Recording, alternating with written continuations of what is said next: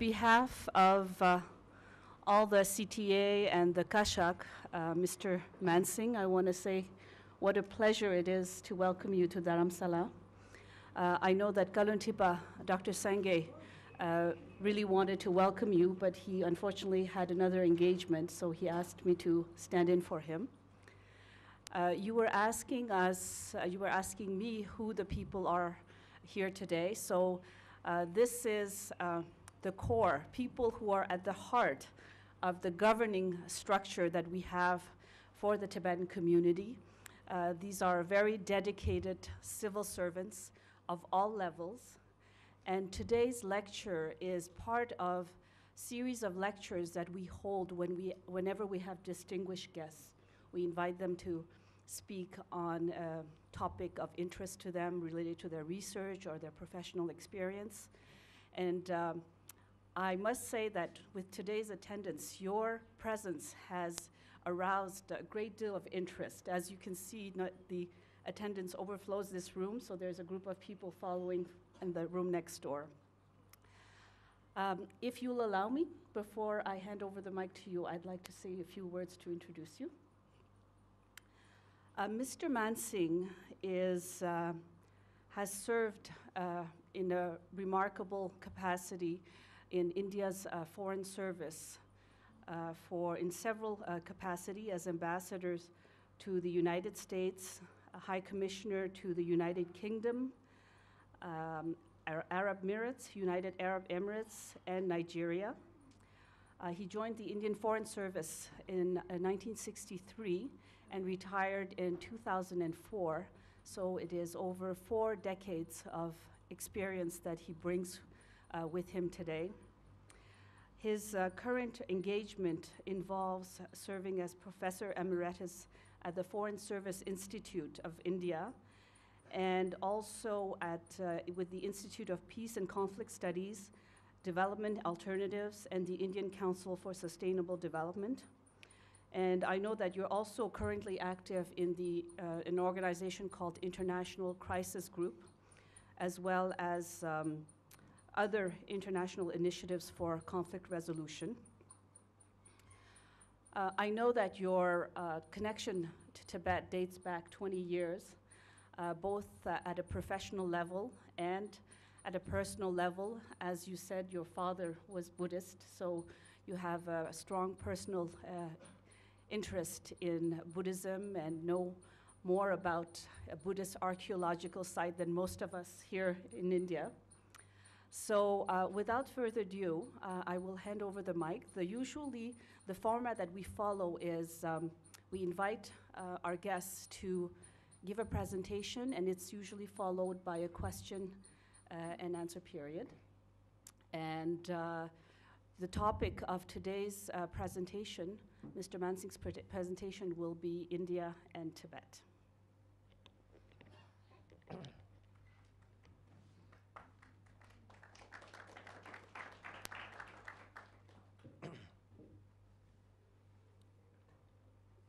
Honorable Kalon D.K. Chhoyang, thank you for those very, for that very warm introduction.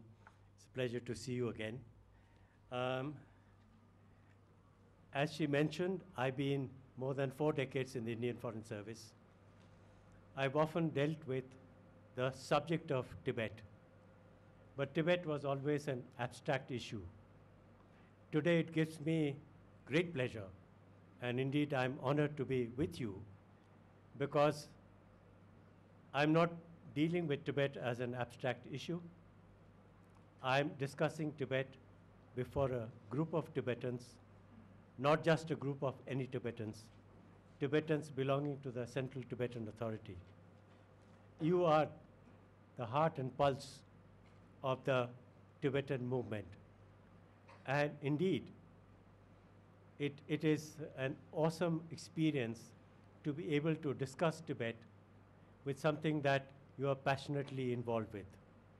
Now, um, since the subject is India and Tibet, you know, one session is not enough because Tibet and India are two of the most ancient nations of the world. There have been many Tibets, there have been many Indias. and we have had a long and complex history of relationship. So let me confine myself this afternoon to the most recent period of India and Tibet, the contemporary period, that period which began roughly around the middle of the 20th century. And let us trace what happened since that time. My focus will be as an Indian, as somebody who has been in the government, I will speak to you about Tibet from an Indian point of view. And let us afterwards have a discussion so that I go back with a better understanding of the issue of Tibet from the Tibetan point of view. Okay. So let us begin with the middle of the 20th century. And here there are three sets of characters who are relevant for what goes on in Tibet. One, the new leadership of India. Having become independent in 1947, middle of the 20th century, we have a new leadership led by Pandit Jawaharlal Nehru. The second set of characters are the new leadership of a new China. The People's Republic of China had been established, and they had a new leadership under Chairman Mao Zedong and Prime Minister Zhou Enlai. And then in Tibet, you had an administration under the leadership of a very young Dalai Lama. So you have three sets of young and to some extent inexperienced people dealing with a new situation. So let me look at it from India's point of view. Let me start with Jawaharlal Nehru, first Prime Minister of India, the first Foreign Minister of India. And if India's foreign policy has a father, that father was quite clearly Jawaharlal Nehru. And so far as Nehru is concerned, his place in India's history is next only to that of Mahatma Gandhi, the father of the nation. Unlike Mahatma Gandhi, who was deeply religious, Pandit Nehru was secular. Was defiantly secular. He very clearly said not only did he have no religion, he did not believe that the government should have any connection with religion. And that was a big difference between the approach of Mahatma Gandhi to politics and the approach of Pandit Nehru to politics and international affairs. But if you study Nehru very carefully, even though he said he didn't believe in re any religion, quite clearly there were some religions which were more important to him than others. And your guess is as good as mine. If you study his writings, his policies, there is no question.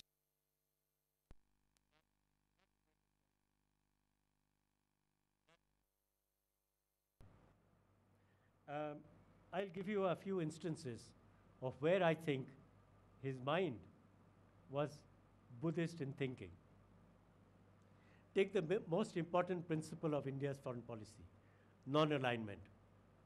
Non alignment as a concept is derived from the Buddhist concept or the middle path. And this is how Pandit Nehru explained it that independent India does not have to join either this group or that group, either the Western Bloc or the Eastern Bloc. India has to take the middle path, keeping a safe distance from the two extremes. Let me give you another example. That famous 1954 agreement, which is so much a part of Tibet's history, so much a part of India's history. The idea of calling it the Panchashil Agreement shows that Nehru's thinking was on Buddhist lines. Now, it may not have been quite Panchashil in its uh, outcome, but quite clearly the thinking at that time about the five principles which would guide the conduct of nations was again rooted in Buddhist thinking. The final example I'll give you is that of the Indian national flag. When the issue came up for discussion in the Constituent Assembly, what kind of a flag should India have? What colors? What symbols? One basic idea came from Pandit Nehru. He said that at the center of the flag should be the Dharma Chakra. And that, again, as you all know, was a Buddhist symbol which was taken. And even though our constitution is secular, our flag carries a Buddhist symbol. So, the question that is haunting many of us, scholars, practitioners, and uh, those who have followed the history of Indian foreign policy is Pandit Nehru, with his inclination towards Buddhists, with his sympathy for the Tibetan people, could he have done a little more when he was the Prime Minister? That's the issue I'm going to address first before I proceed further in my analysis. And by the way, an interesting coincidence Nehru died on 27th May 1964. That happened to be Buddha Jayanti. Just a coincidence. So, uh, my own analysis of Nehru is that he was deeply conflicted in his mind. On the one hand, he had sympathy for the Tibetan people, he had deep regard for His Holiness the Dalai Lama, and he wanted to do as much as possible for the cause of the Tibetan people. On the other hand, he was aware of the bigger picture which was emerging in the world. And Nehru passionately believed in one fundamental idea.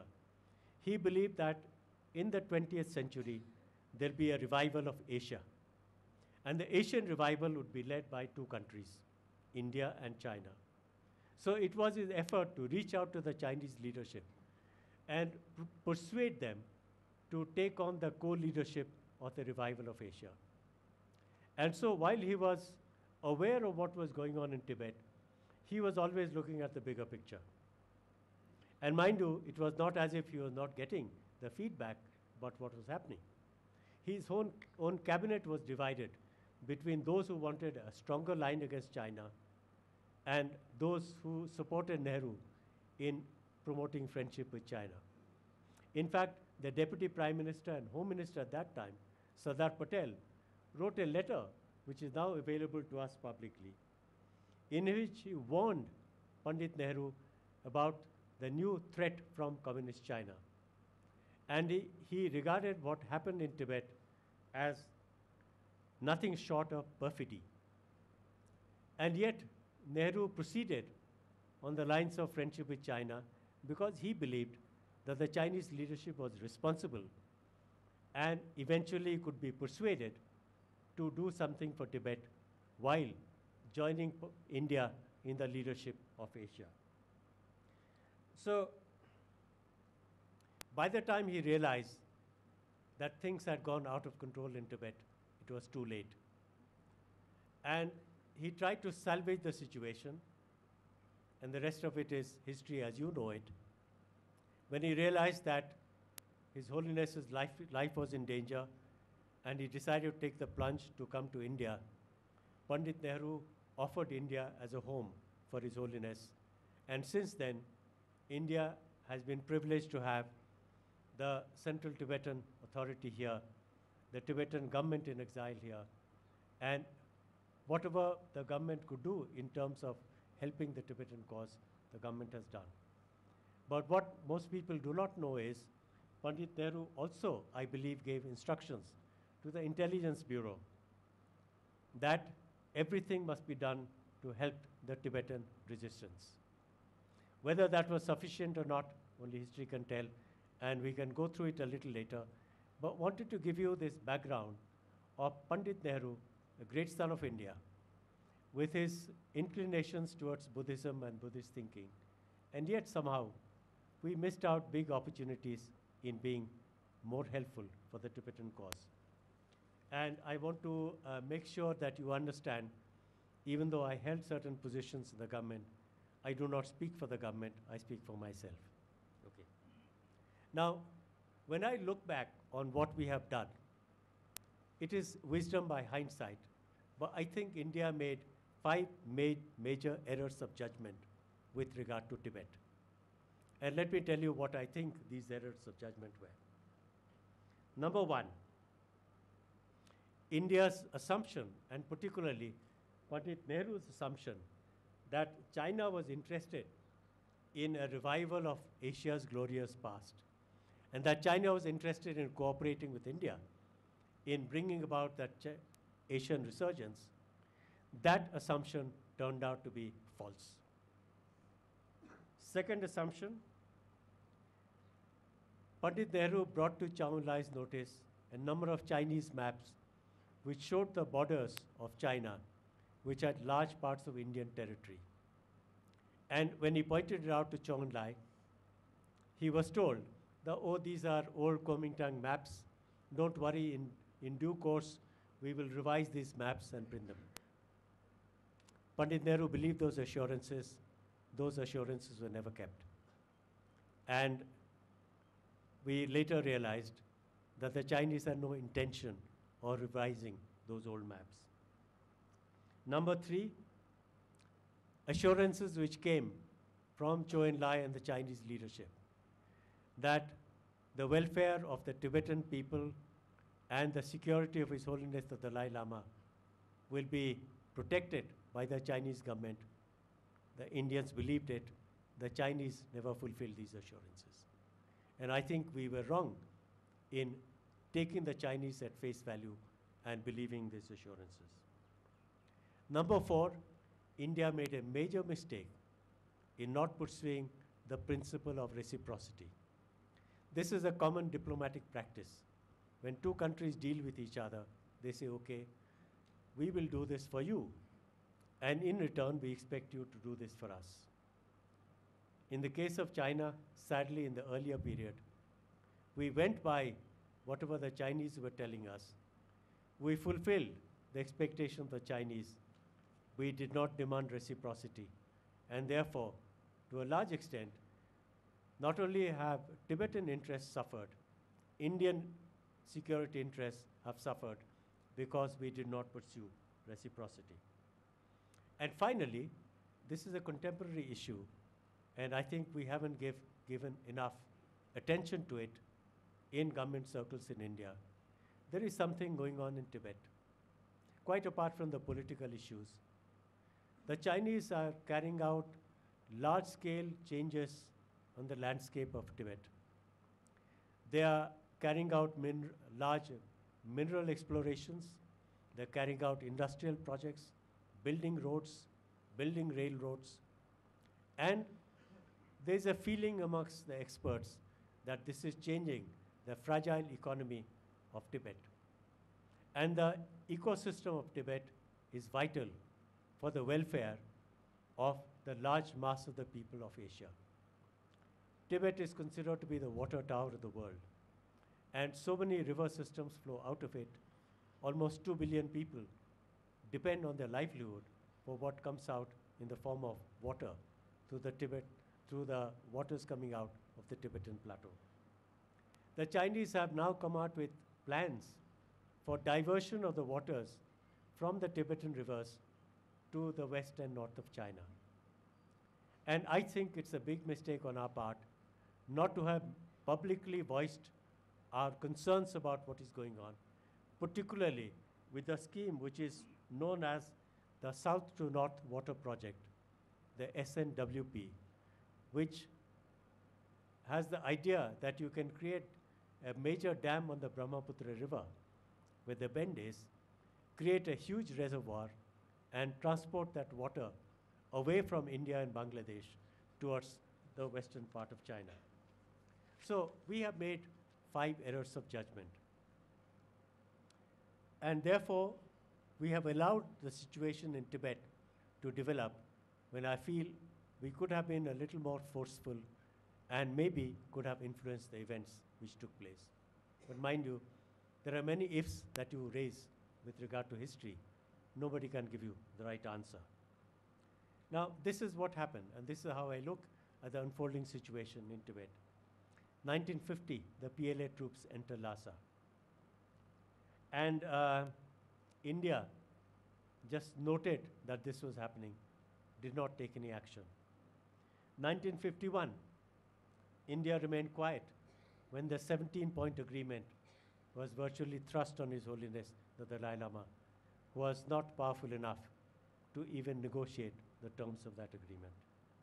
1954 is what I consider to be the crowning blunder on the Indian side, the 1954 Panchashil Agreement with China. Because the formulation that we agreed to in, in the 54 agreement is the formulation that has been carried on by every single successor of Pandit Nehru as Prime Minister of India. And over a period of time, even the wording has changed, and it has changed to China's benefit, not to the benefit of Tibet, not to the benefit of India. Let us look at the formulation. In 1954, Pandit Nehru suggested that we were recognizing only the suzerainty of China over Tibet. And in his mind, there was a difference between suzerainty and sovereignty. Sovereignty is a legal term. Suzerainty is also has legal implications, but is not the same thing as sovereignty. Now, we considered suzerainty in 1954. In 1988, when Prime Minister Rajiv Gandhi went to Beijing and had a new understanding with Deng Xiaoping, Tibet was described as an autonomous region of China. An autonomous region of China. But suzerainty was now substituted by sovereignty. And then when Prime Minister Atal Bihari Vajpayee went to Beijing in 2003, he simply recognized Tibet as a part of China. So you can see over a period of time, since the original mistake was in 54, it was compounded. And so from understanding the Chinese position as suzerainty over Tibet, we came to accept China as a part of, uh, Tibet as a part of China. And therefore, much damage was done to the Tibetan cause because India conceded everything without get getting anything returned. Because India had historical rights, had legal rights in Tibet. India had a diplomatic presence in Lhasa. India had troops in Lhasa. India had other assets in Lhasa, had properties in Lhasa, and in other parts of Tibet. And all these were surrendered in 1954 without demanding any reciprocity. So a lot of scholars, a lot of uh, analysts think that India had a Tibet card in 1954. India has lost it forever. Um, I will argue that we have lost, not lost our Tibet card. That India can never lose its Tibet card, it is very much there. We have to activate it. It's like one of your cards in your uh, cell phones. If they expire, you can always renew it. It never dies out. Okay. So, how do we look at Tibet now? In my view, Tibet, which for a long time has been associated in the minds of policymakers in India as something which connects the border of India and China, basically as a border dispute. I think Tibet is slowly moving from a peripheral issue like a border dispute to the centerpiece of our relationship with China. Because much has happened since 1988 when we patched up with China after 1962. And under the agreement that Rajiv Gandhi had with Deng Xiaoping, we would normalize relations with China, but keep the border issue in a box. So I think the impression was gathered amongst the policymakers in India that we have sorted out everything with China, and only, only thing that remains is the border. And so, in our mind, Tibet became the border issue, not the main issue of what Tibet represented. But let me tell you, as I see the situation today, Tibet is right in the center of our bilateral relationship with China. Why do I say it? There are seven major areas of serious differences between India and China today. Number one, of course, the border issue. 4,000 kilometers of undemarcated boundaries between the two largest countries of the world with the two biggest armies of the world. This is a dangerous situation. This is one. And the India-China border is nothing but the India-Tibet border. Number two, the Sino-Pakistan nexus against India. The fact that China has cultivated Pakistan as almost as an ally has transferred military, nuclear, missile technology to Pakistan, continues to help Pakistan in many ways, has Chinese troops present in Pakistan occupied Kashmir. That tells you a story of how China is building up Pakistan as a counterweight to India. It's a matter of concern for us today. The third problem which India has is China's growing presence in our neighborhood, in, in uh, Nepal, in, in Bangladesh, in Myanmar, in Sri Lanka. It is trying to have a foothold in the Maldives, and of course, it has a large presence in Pakistan. For our security experts, this is a growing matter of concern. A fourth is what I have discussed, discussed earlier as the ecological changes that China is bringing about in the Tibetan region. Fifth, specifically the North South Water Project, which is the diversion of the waters of the Brahmaputra. Number six, China's opposition to India's membership of international organizations. China was opposed to India joining the East Asia Summit. China is not happy with India's presence in the ASEAN.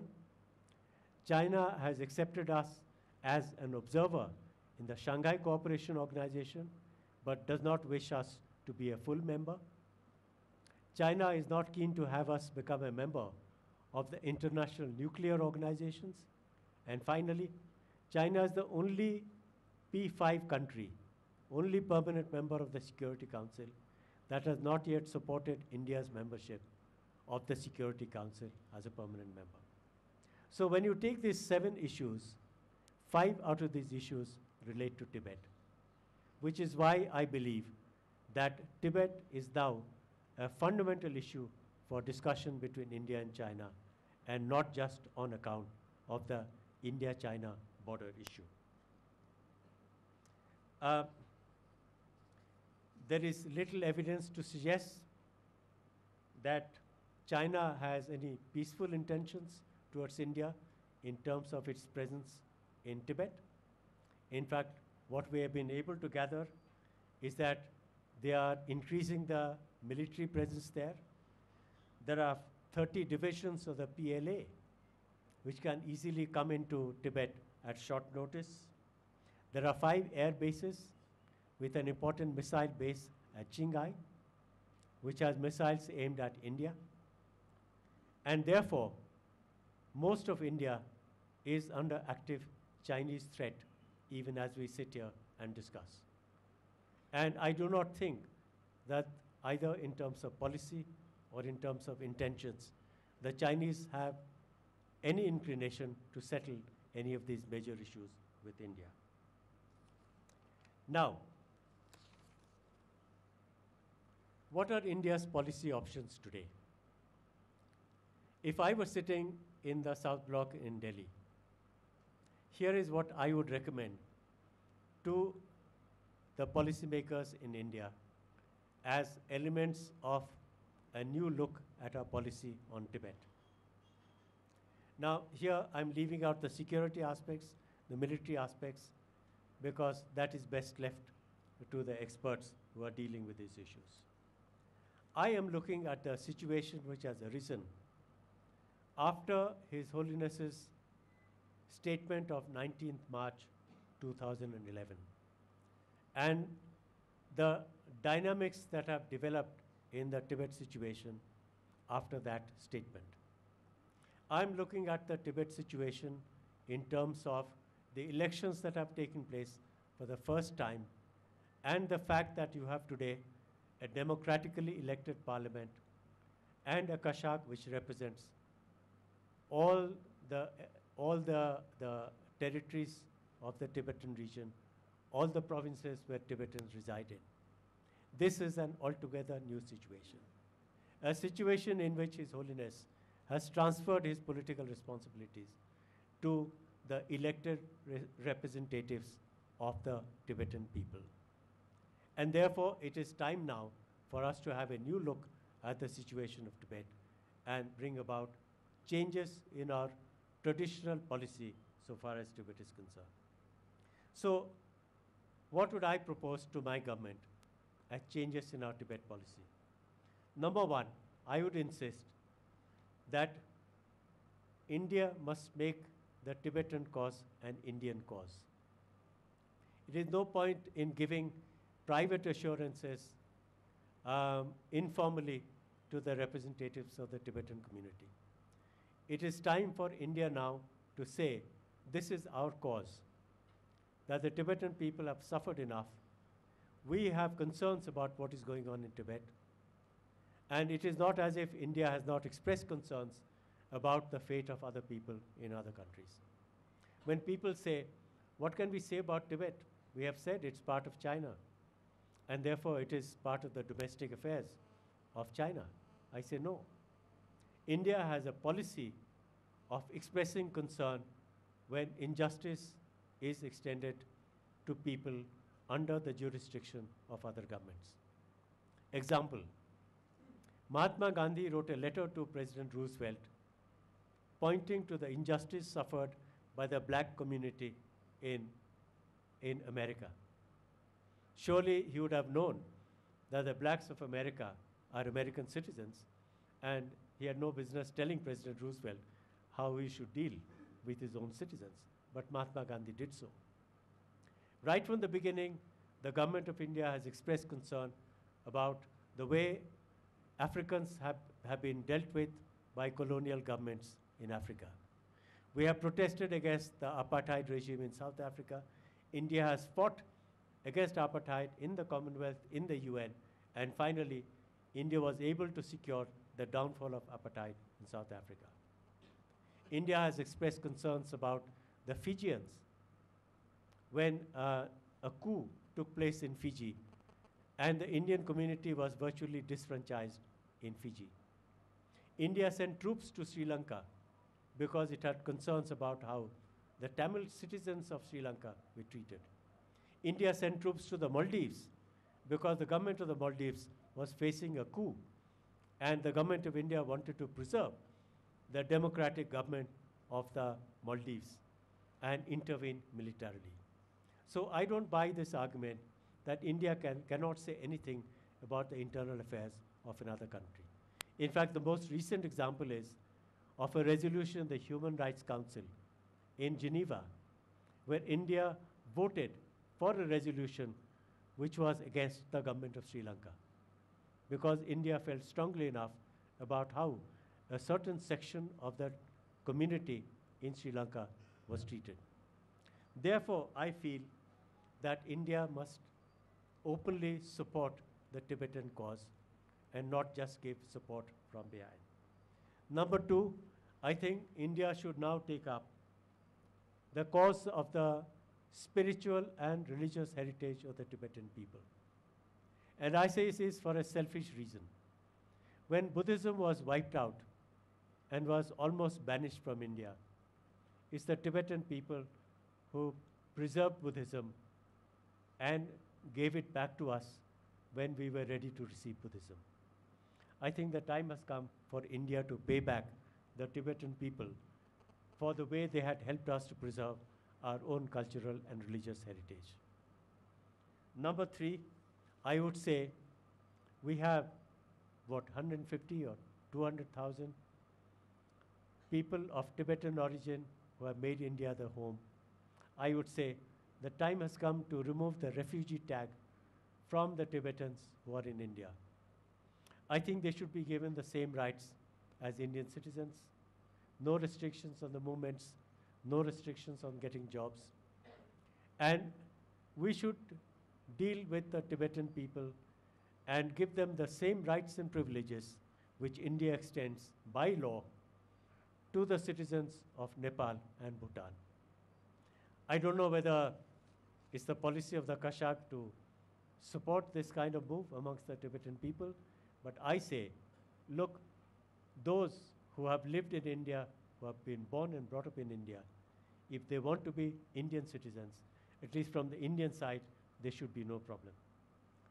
Number four, I think the time has come for India to make reciprocity an important principle in dealing with China. There is good news. In 2010 December, the Chinese Prime Minister Wen Jiabao came to Delhi. And when they were discussing the joint statement, the Chinese expected that the joint statement would, would contain the usual references to Tibet, that India subscribed to the one China policy, that India believes that China has sovereignty over Tibet, over Taiwan, and so on. For the first time, the Indian delegation told the Chinese, well, if you're going to accept this formula, we would expect you to do, say something about supporting the territorial integrity of India.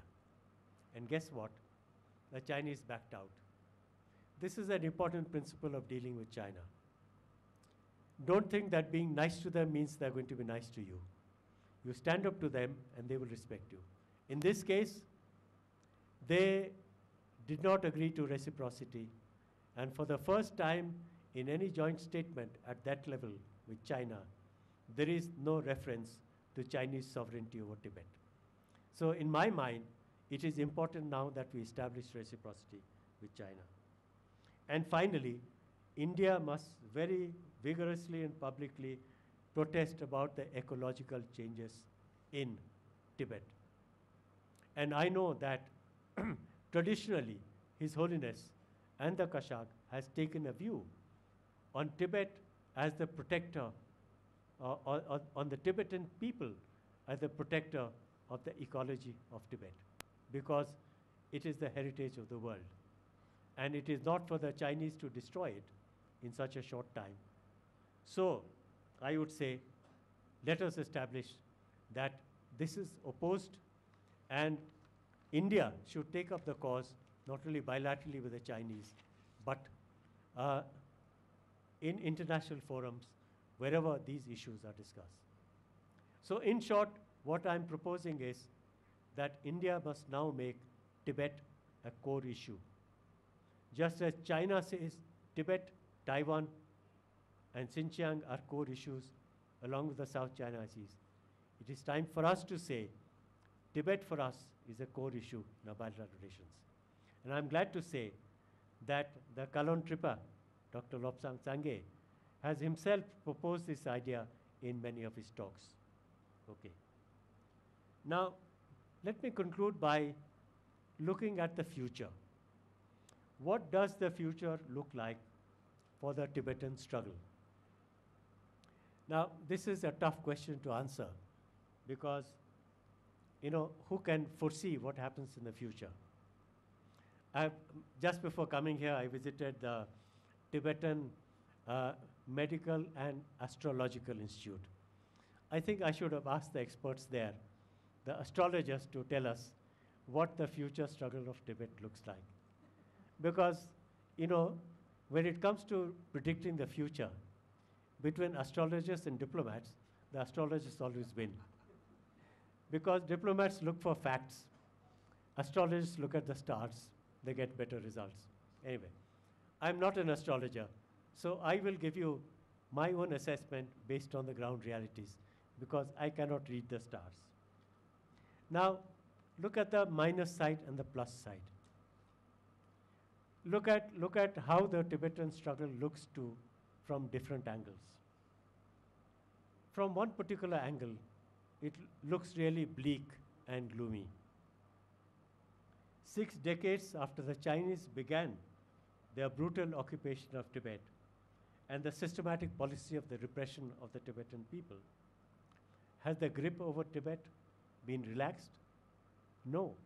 On the contrary, having made inroads into Tibet, having built roads and railroads, the iron grip of Beijing over Tibet has become even tougher. So it seems to me that the Chinese have a more firm control over Tibet than they had in the 50s. And mind you, they have systematically followed what is called the Sinicization program of taking Han Chinese and settling them in the Tibetan region so that eventually Tibetans will become a minority in their own homeland. It's not only in Tibet, they're doing it in Xinjiang and other places. And given time, I suppose the Chinese could perhaps alter the demographic balance. Uh, China has been systematically taking over the organizational structures of Tibetan Buddhism. And can you imagine now having succeeded in planting an incarnation of His Holiness the Panchen Lama? The Chinese are now claiming that they have the authority to decide on the future incarnation of His Holiness the Dalai Lama. Now, what does this show? That they are using the political muscle to even regulate and guide the religions which are unfortunately situated within China. And therefore, when you take all this together, the picture look, looks really bleak and desperate. Uh, and as you see the reports coming out of China, the repression that has been renewed after 2008, what happened during the, the Olympics in Beijing, and the reports which are coming in, tragic reports of young Tibetans immolating themselves, including a large number of monks and nuns. That gives you the picture that maybe Tibetans in, within Tibet are getting rather desperate, that things are not looking good for them. Now, all this is factually correct, but I am an optimist. I always look at the silver lining. And I don't buy this conclusion that everything is coming to an end, that this is going to be the end of the Tibetan struggle, and that the Chinese are finally, finally going to be successful in destroying the Tibetan nation. On the contrary, I think we are entering a new chapter. And as far as I can see, that new chapter is going in favor of the Tibetan people. And let, let me explain why. Uh, three reasons, four reasons why I think the future is going to be in favor of your struggle. Number one,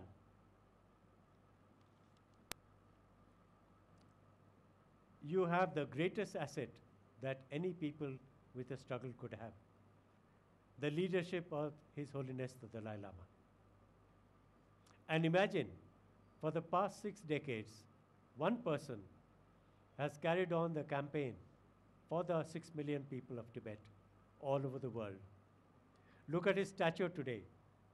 If Mahatma Gandhi were the supreme moral personality, the moral superpower of the 20th century, that position belongs to His Holiness the Dalai Lama in the 21st century. He has no army, he has no hard power, he has no access to resources, but he is respected wherever he goes. He is received with great respect by the, by the leaders of the world. He has been conferred with a, with a Nobel Prize. What greater asset can a people have than the personality of His Holiness the Dalai Lama? Factor number two is the new leadership of Tibet. And you are all part of that. The elected parliament, the new Kashag. These are people with new vitality who are taking on the leadership for the next generation. And that gives me a lot of hope. It is not just the religious leadership that is coming forward, it is a new group of well educated Tibetans who understand the world, who can communicate the world, who are taking up the Tibetan cause. I think is much stronger because of that. Thirdly, the international community has now come up with a new doctrine, and it is just being practiced by the United Nations. This doctrine is called the responsibility to protect. Because earlier you had the doctrine of sovereignty. Every country which was a member of the United Nations was a sovereign state. and every sovereign state had absolute right over its territory and its population. Now, this concept of sovereignty has been diluted by the concept of what is called R2P, the responsibility to protect. And this doctrine says that irrespective of national sovereignty, if any segment of the population of a country is denied basic human rights and basic dignity, the international community has a right to come to the rescue of the, that community. Whether that doctrine has been practiced in the right way, we do not know because we do not have enough case studies. But it has been practiced recently in the case of Libya. It has been practiced in the case of Iraq. And the United Nations is wanting to practice it in the case of Syria. I do not say that the R2P can be applied to Tibet right now, but I think if things go out of hand, if the Chinese increase their repression, and the international community believes that the Tibetan people have been denied the basic human dignity and the human rights, I think the international community has a right to intervene, and it probably will. And finally, consider the trends towards the future. The world is moving towards democracy and human rights. Within countries, it is happening, and country after country which was under dictatorship is moving towards democracy and human rights. Look at the number of countries in Africa which about 10 years ago were under dictatorships. Most of the African countries have democracy. Consider the large number of dictatorships that were there in the Arab world and think of the dramatic events of the last couple of years. The Arab Spring is spreading, and country after country, under the influence of young people who are demanding change, country after country is turning to democracy. As we speak today, the people of Egypt have just voted for a new democratic leadership in their country. In a fellow Buddhist country, in Myanmar, the people of Burma have elected Aung San Suu Kyi. And finally, after years of repression, of brutal repression, much as you experience in Tibet, the military government is opening the door wide open and welcoming Aung San Suu Kyi. So if, if change is taking place over the rest of the world, I'm confident that change will come to Tibet. This state of affairs cannot be allowed to continue forever. So I firmly believe that we are beginning a new chapter. And this is what ideally I would like the action to take place in terms of a plan of action, if you feel. One, an idea which I, I just discussed with Kalon Dicki, Dicki Chhoyang. What about a grand coalition, grand international coalition on Tibet? The time has come when we must activate the international community, engage the governments of the world, and tell them that look, there has been enough neglect of Tibet, and the world can't take Tibet for granted because things have not got better. Let us approach every single organization that can help the Tibetan cause. Amnesty International, Human Rights Watch, International Crisis Group, whichever country can offer you support, sympathy, help, I think we should bring them together and form this grand coalition. Secondly, I think we should make a concerted effort to reach out to governments. Because finally, governments are the agencies which take action. And you can see the governments are also responding. Whereas international leaders were shy about meeting His Holiness, or pretending they were meeting him privately, or pretending they were meeting him not in their office, but in a map room or somewhere. Now, those heads of government, heads of state, are now openly meeting His Holiness, which means that at a government level, this has begun to seep in that the Tibetan cause is a worthy cause. And no matter what the Chinese protest about, this is a decision which governments can take within their own jurisdiction. And I think the Tibetan people must reach out to the governments and activate the Tibetan diaspora for this. And I tell you, I have dealt with many diasporas in my official career.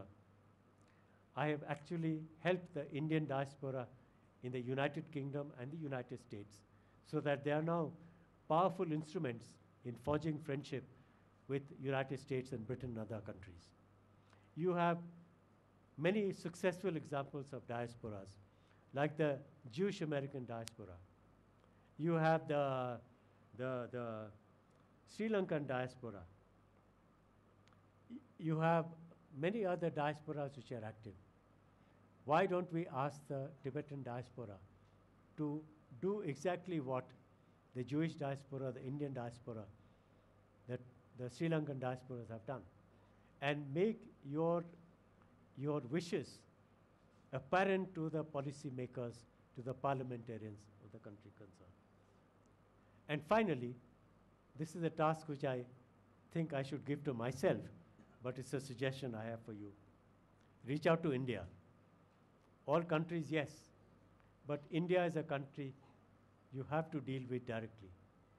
There are two countries you cannot avoid China and India. Now, how you deal with China is in your hands. How you deal with India is also in your hands. And as I say, we have made errors of judgment. We are beginning to understand that these were errors. We are trying to stand up with the Chinese, but you must push us. Come and tell our decision makers how you feel. Uh, reach out to the government circles in India. Go higher up in the level. Let your new Kalons reach out not only to senior officials, to members of parliament, to ministers, to secretaries, and tell them this is our cause. Let us see. The world is not deaf and blind. They must understand what is going on. So I think a few steps need to be taken. The diplomatic initiatives that will promote and project the cause of the Tibetan people. And maybe the chapter that I see is beginning to take shape can be a short chapter and will not be another 60 years before you see light at the end of the tunnel. So I thank you for giving this opportunity, and I would welcome any suggestion from your side. Uh, I'm happy to be here, and I'm extremely grateful that you heard me with such silence and with such respect. Thank you.